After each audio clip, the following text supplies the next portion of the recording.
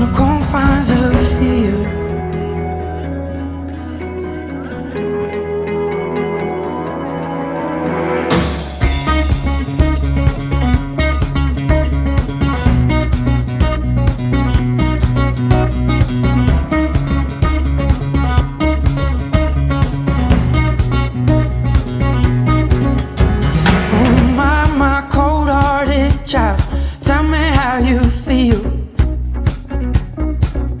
Just a rain in the morning air, dark shadow on the hill.